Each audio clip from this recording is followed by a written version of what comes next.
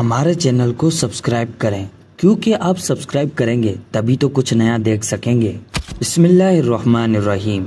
सूर्य कहफ कुरान की 18वीं आयत है और ये आयत अपनी गहराइयों और असबाक के लिए मशहूर है। चलिए आज ये पाँच खूबसूरत असबाक जो सूर्य कहफ से लिए गए हैं, मैं आपको कुछ पाँच मशहूर असबाक के बारे में बताता हूँ। नंबर एक, ईमान और यकीन की अहमियत। सूर्य कहफ अल्लाह पर सच्चे ईमान और यकीन की अहमियत पर ज़ोर देती है। गार में नौजवानों की कहानी, असहाबुल कहफ के खुदा पर अदलो ईमान किस तरह मुश्किल वक्त में लोगों की हिफाजत और रहनुमाई कर सकता है। ये हमें सिखाता है कि मुसीबत के वक्त हमें अपने ईमान को मजबूती से पकड़े रहना चाहिए और अल्लाह की हिकमत पर भरोसा रखना चाहिए। नंबर दो, आजजी और शुक्र गुजारी जुलकुर नैन की कहानी हमें आजजी और शुक्र गुजारी की अहमियत का दर्स देती है और अपनी बेपनाह ताकत और वसाइल के बावजूद जुल्कुरनैन आजिज रहे और इस बात का एतराफ किया कि इनकी सलाहियतें अल्लाह की तरफ़ से एक नेमत है। ये हमें याद दिलाता है कि हमारे पास मौजूद नेमतों के लिए शुक्र गुजार हो और गुरूर या तकबर को अपने फैसले पर बादल न डालने दे।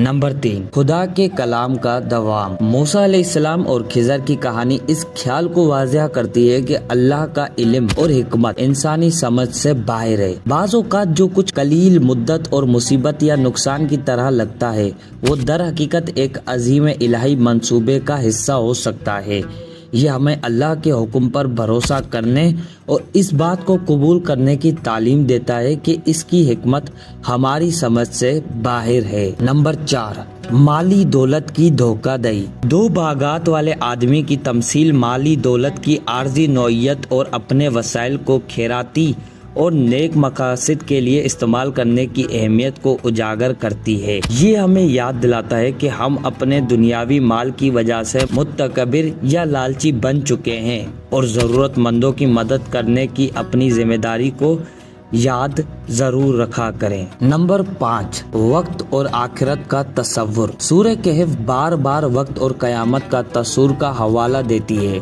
ये मोमिनों को दुनिया की आर्जी नोयत और आखिरत की अहदी नोयत पर गौर करने की तरगीब देती है। ये इन आमाल को तरजीह देने की याद दहानी के तौर पर काम करती है, जो हमें आखिरत में फ़ायदा मंद होंगे और अल्लाह के सामने अपनी हतमी, जो अबदही का ख्याल रखें। इन असबाब के अलावा सूर्य कैफ को बहुत से लोग जुम्मे के दिन भी पढ़ते हैं, क्योंकि इसमें इस्लामी रिवायत के मुताबिक दज्जाल एक झूठे मसीहा के फितनों से बरकत और हिफाजत है। ये एक ऐसा बाब है, जो मोमिनों को इल्म तालीम हासिल करने और अपने ईमान को बरकरार रखने और अपनी जिंदगियों में इखलाकी उसूलों को बरकरार रखने की तरगीब देता है। तो ये थे कुछ आज का पाँच मशहूर असबाग जो सूर्य कहफ से हमने लिए हैं। तो रोज इसी तरह की वीडियोस देखने के लिए प्लीज़ हमारे चैनल को सब्सक्राइब करें। जो बात समझ में आपको नहीं आई हो तो आप कमेंट्स करके हमें बताएँ। और हाँ अगर वीडियो पसंद आई हो तो इसे लाजमी